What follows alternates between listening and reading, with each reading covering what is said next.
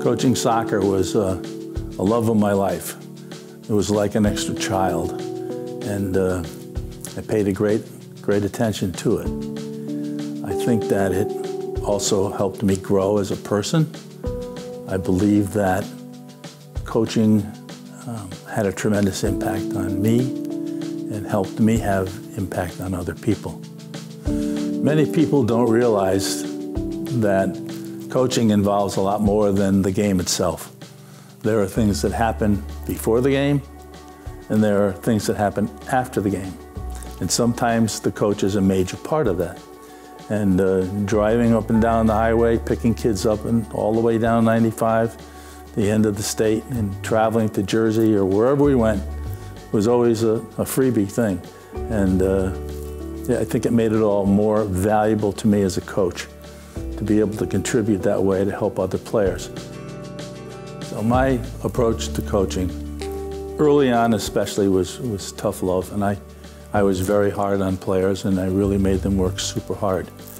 But as time went on, I learned that you didn't have to be like that.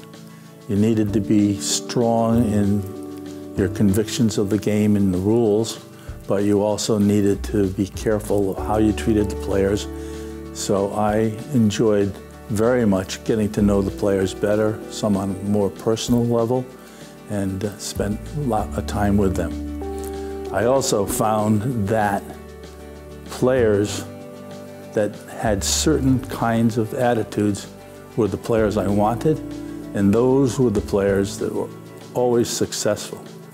Hank Steinbrecher was one of those. Ron McEachin was one of those. So I learned that lesson early in my coaching career, which contributed to my success because I knew those kind of people were the people that didn't quit, wouldn't give up, and always would do their best.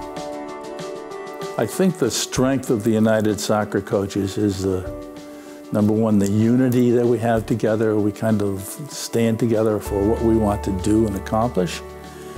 But I think much more than that is the instruction. Um, there are hundreds and hundreds of seminars at the National Convention.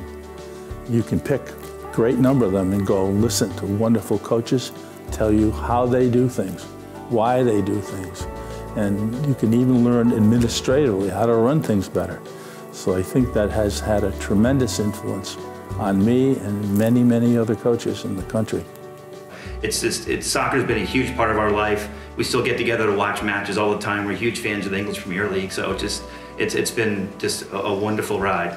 All to my, thanks to my dad.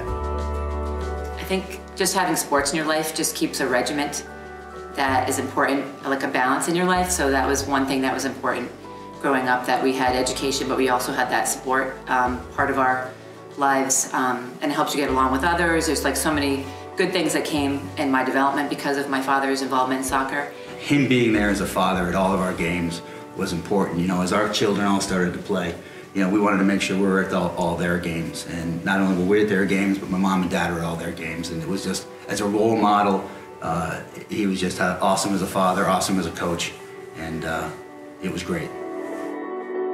So much of what you do in coaching carries over to life and life skills. And if you can learn to deal with situations in coaching where you're uncomfortable and you can translate that into your life and it helps you live better, helps you get along better because in, in playing is you have to get along with your fellow players if your team is going to do well.